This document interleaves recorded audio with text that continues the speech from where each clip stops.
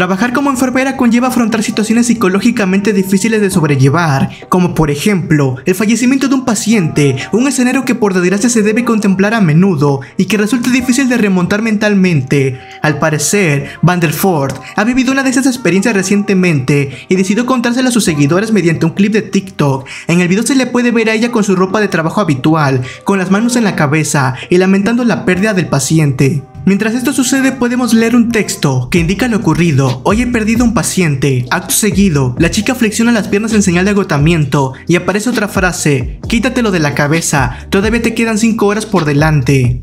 Pese a que la intención de la enfermera seguramente fuera la de visibilizar la ardua tarea que a veces tiene que realizar en su trabajo, la gran parte de los usuarios han entendido que este tipo de contenido supone una grave falta de sensibilidad. Si muero en un hospital, no uses mi muerte como una tendencia en TikTok, escribe un usuario que ha publicado el clip de Twitter.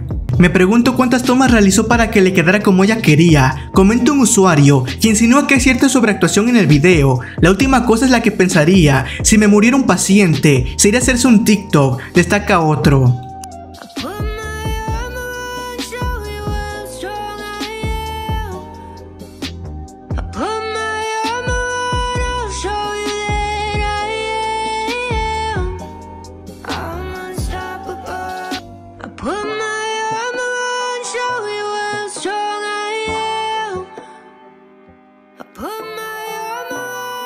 show you